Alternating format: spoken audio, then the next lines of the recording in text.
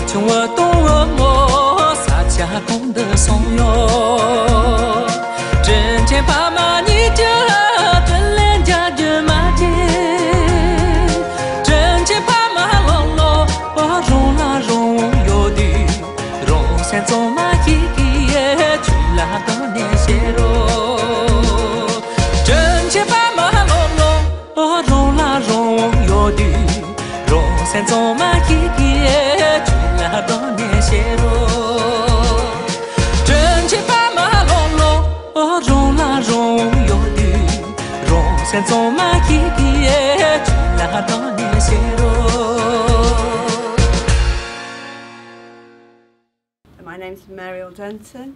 Um, I'm a retired teacher now. I started to sponsor a child in exile from Tibet 10 years ago now because we had, um, I used to do, well I still do yoga and in our summer school the teachers would come to teach us for free but we would still pay and they used the money to send to you in the Tibetan community sponsorship. So um, they brought in some files of the children and their plight and their education, and that's how I got interested in it, really. So um, for me personally, uh, I've got two sons of my own, so I chose to sponsor a girl.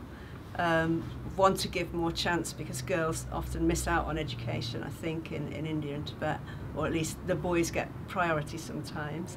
So I thought it would be nice to, to choose a girl and to see her grow up, really.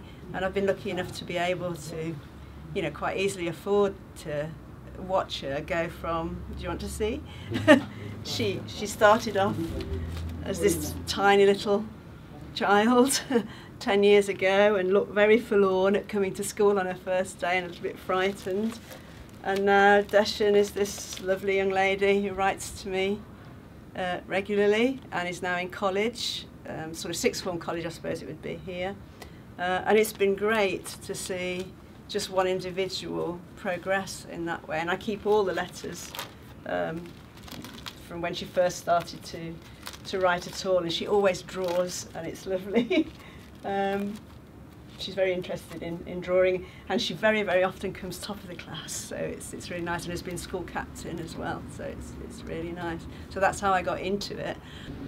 It is probably a, the, one of the most worthwhile things that you can do to sponsor a child's education. None of us know the future, none of us can speak for tomorrow. But I think the one thing is, that, as I said earlier, it's absolutely certain is that without education, you have no future. That is just a statement of fact. So anyone who wants to sponsor a, a child, Tibetan child, A, I think can be 100% certain that child will do everything it can to respond to the sponsorship. Uh, this will not be money wasted. I have never yet met a Tibetan child who doesn't appreciate being sponsored and doesn't know that the only thank you it can truly give is to do its very, very best at school or at college, in whatever field it's taken into. And that is an enormous reward for the sponsor.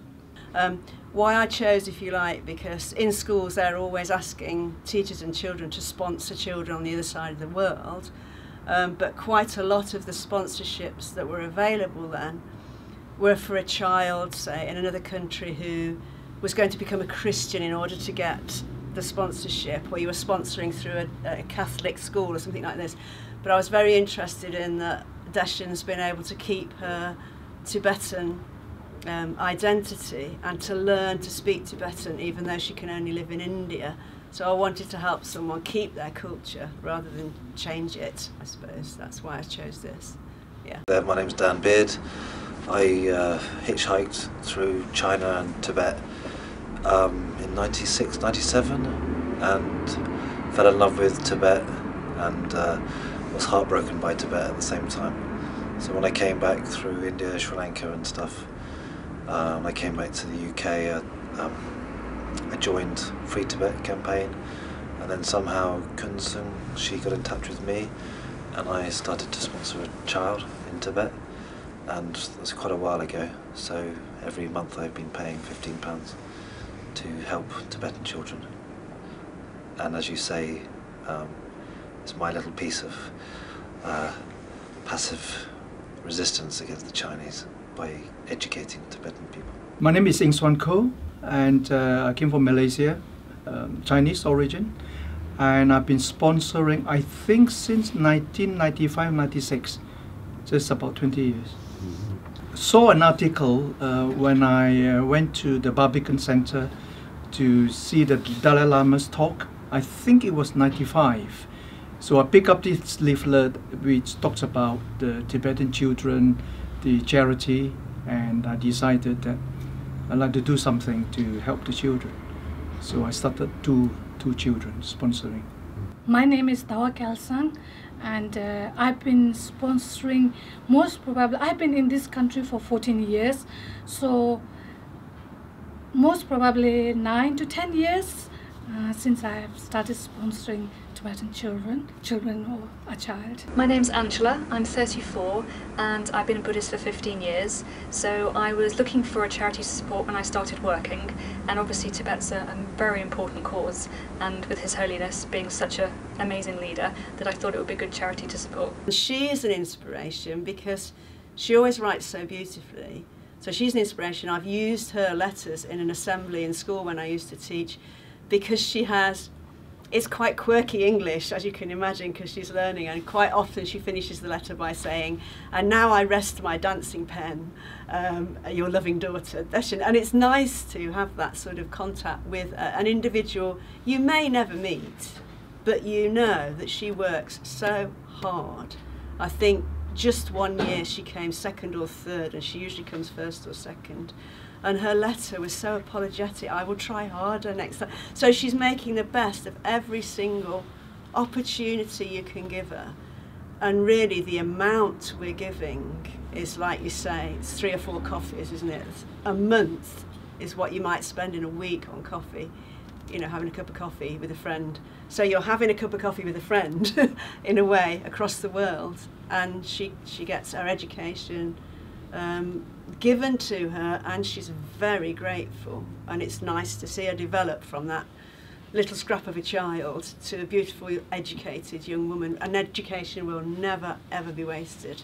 And she herself now has become an inspiration to people I taught who perhaps had forgotten their homework or said that it's too hard to do. I'd say hey look at this you know because she works hard every day you know, we we feel so useless with the whole uh, Chinese thing going on. It's, it's, just a little something that we could do, and I suppose when you when you know almost 20 years later, three thousand pounds later, and how many kids I've managed to educate, help them keep the Tibetan language going, cultures going, um, because without the Tibetan community and all these other sort of campaigns going on around the world, uh, unfortunately, um, Tibetan culture would just wither away. So it's, uh, you know, it's one of the most precious cultures in the world, and it's our way of keeping it going. Um, I've been sponsoring Pasang for 10 years. She was 4 and now she's 15. Um, I'm disabled. I've had 29, no sorry, 9 operations. I take 23 tablets a day, including morphine throughout the day. So my day is quite difficult, quite painful. Um, I had to give up my work several years ago, so now I live just on my disability benefit. But if I can live just on disability benefit and pay for a child to go to school, then I really think anybody can. I've really enjoyed coming here today. So if you could do this every couple of years just for us all to meet, it would make us feel, um, I suppose it makes us feel really wanted and, and thank you very much for today. Uh, my name is Brian Bowles and I attended a Tibetan cultural event in the 90s. And there was a little stall or a stand where people were being invited to sponsor a Tibetan child. And really, I didn't know anything about it. And I thought, okay, I'll give it a go. Well, that was something like uh, 20 years ago and uh, three children ago. I'm on to my third Tibetan uh, pupil currently. So that's how it started. And uh, it's quite painless. Uh, the money comes out of my account every month. I don't notice it because it's not a huge amount, but I think it, it makes a big difference to them. And then I try, but don't always remember uh, Christmas and birthdays. And there's interaction between myself, obviously, and the, uh, the young pupil that I'm sponsoring. It seems to make a difference. My mother, she actually, she's a sponsor as well, and um, she writes to her child every month and stuff, and she calls her mummy and all that sort of stuff. Uh, and they have a relationship going on. So my mother is very, um, she really enjoys like communicating with them. I should communicate more, uh, but I have enjoyed receiving my uh, Christmas cards. But um, one day I would love to go to northern India to um, see some of the children, hopefully meet one of mine. I have been brought up in Tibetan community in Bylakuppe and uh, and then I've been to boarding school like two years and I did my nursing in India. And uh, I always want to give back something to my community and I feel that uh, uh, I owe so much to my community. And uh, I thought the best way I can help do something is to sponsor a child. So I've done that through the Tibetan, Tibetan community because I always felt the Department of Education is the best way through which I can do something. I was told today that I'm one of the longest sponsors and as I say it started in the mid 1990s and uh, I've sponsored three children and the um, the third is still undergoing his education. I've been sponsoring sponsoring him for about five years I think now. And he's great. I mean, he, I get uh, Christmas cards and letters, and he tells me what's happening with him and his family. Uh, and it's very moving because his uh, the life of his parents, particularly, I think, is very very difficult. And basically, without sponsorship from people from the West, and it really is a very very small amount compared with our normal everyday outgoings. Without sponsorship from the West, that boy wouldn't get an education. His parents would be really really stretched, at least it takes the pressure off them, and they know that he's going to receive a good good education no matter what, and it will help not only them it'll be for his life in the future and will help the Tibetan community, which is all to the good. And boy, it needs it. ngeming la kusan tanda lobi ki rozo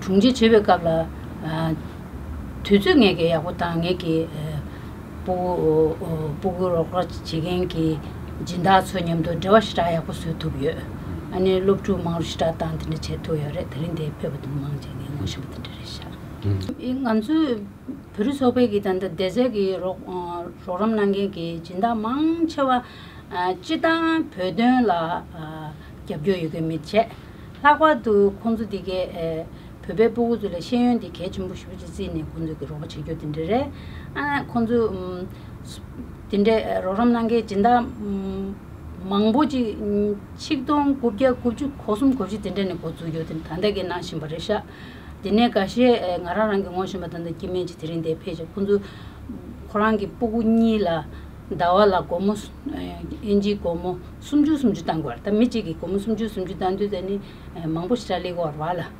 아니 콘주 진다 망제 빼 숨주 침보르샤 단당 알아 가르세기 두스나 nganzu kumu chunga di lo mangbu kumu chunga dawa chila kumu chunga li tango mara kyaga la tuson tesi pari yo mara we kandri re skeji tikin dinde duule chasan kundu pe masi we tongbu chun dinde re sha My, uh, my name is uh, Sonam Tsering Frazi. Uh, the, the reason really uh, why I started the Tibetan Refugee Charitable Trust way back in 1986 was uh, the Tibetan community in Britain had a sponsorship scheme already uh, existing at that time.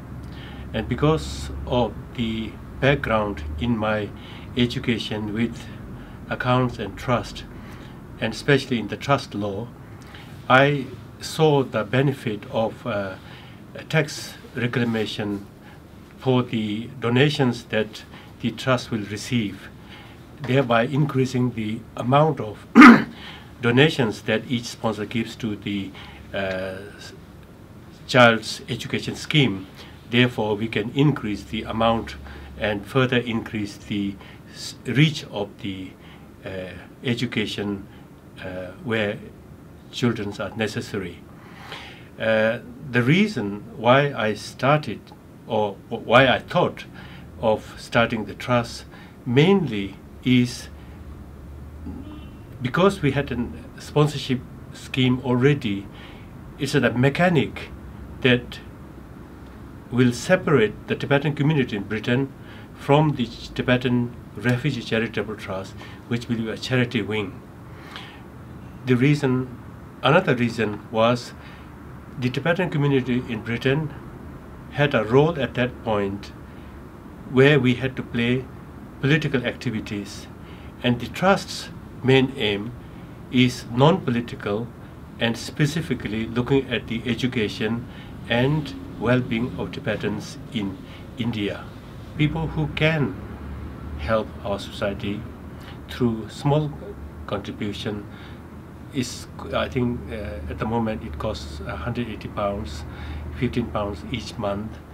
It, it is uh, life-changing for somebody uh, some young child who hasn't got the education opportunity living in some remote settlements. And this will be a very good a benefit for the Tibetan society b it is uh, uh, encouraging as well as a self uh, prestige who, who can help thinking that they are also a uh, little bit well off than uh, people in India and who needs help and you are making a small contribution for the society to be better.